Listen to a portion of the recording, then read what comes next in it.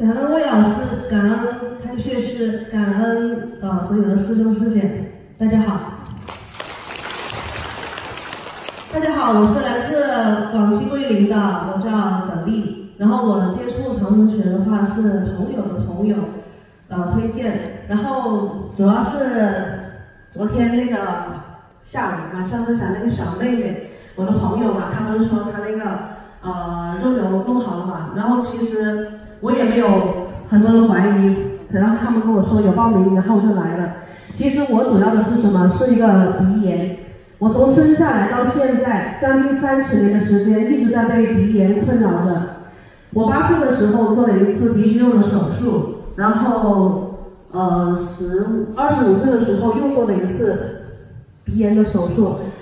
一次比一次更加的严重，一次比一次痛不欲生。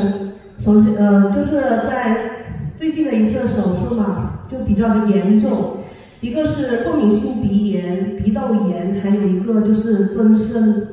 这三个手术是一起做的。那时候做完了以后啊，整个头感觉就是在炸裂的，然后在恢复的过程中有三天嘛，相当的难受。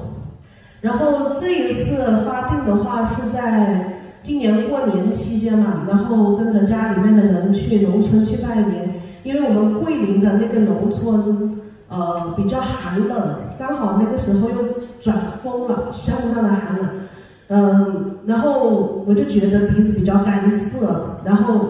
就手贱嘛，然后就把手伸到鼻子里面去抠，然后就把那个鼻黏膜那个位置就抠坏了，而且很近，就是在这个一进去这里有个软骨，然后就把它抠破了，一直都没有好。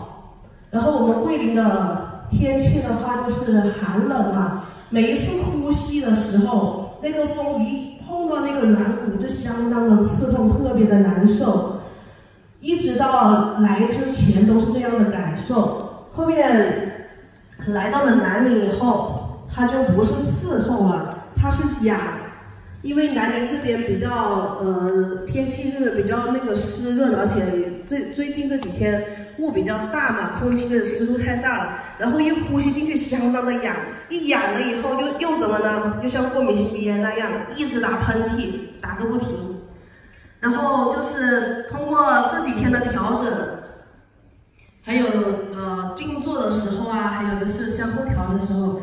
最大的感受就是一个是通了。然后鼻子里面呼吸进一呼吸嘛，然后里面就感觉哎，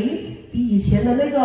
呃能够存那个空气的位置要开阔了，一呼吸进去像呃非常的爽。然后自己做调整的时候啊，我反正我每天晚上睡觉之前我都要呃给自己调整一下，然后就感觉这个鼻窦这个位置嘣一声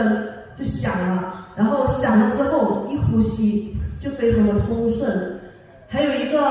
呃，还有一个就是那个软骨的那个地方，它不仅不痒了，也不痛了，而且不出血。还有一个就是那个软骨的地方，我这两天我就小小心心的摸进去，它已经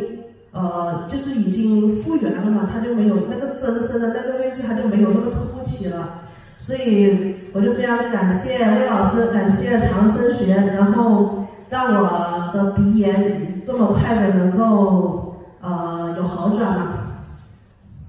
好，感恩师姐，困扰三十年的鼻炎做了两次手术，对吧？好，所以现在已经明显的好转了。好，继续加强练功，好，加强调整，好。我